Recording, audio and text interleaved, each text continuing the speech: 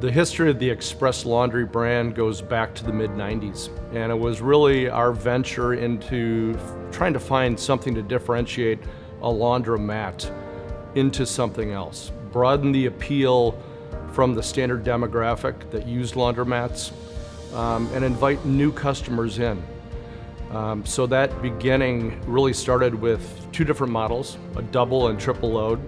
We brought our commercial equipment into the vended laundry arena. So the express laundry beginnings with these two models was a small vestibule, little area in the laundry. We started with maroon. Other investors brought different colors in, but it always had the express laundry insignia. And these two machines were meant to appeal to the young professional, the family that valued time.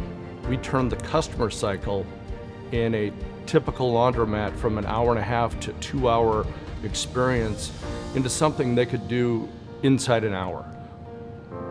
The call out was when time is of the essence. And that's really where it began. So, um, with that beginning, the evolution of the Express Laundry Center grew from four to six machines, high speed, customer convenience, giving back them some time in their life and what they'd pay for it, um, into just a different level of premium service inside a self-service laundry. Um, and, and it differentiated them.